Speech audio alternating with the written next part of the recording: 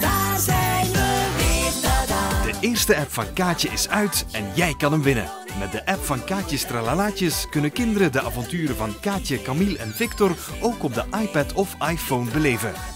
Ga naar facebook.com slash bvntv en maak kans om de Kaatje-app te winnen. Kaatje Tralalaatjes, altijd en overal speel- en kijkplezier.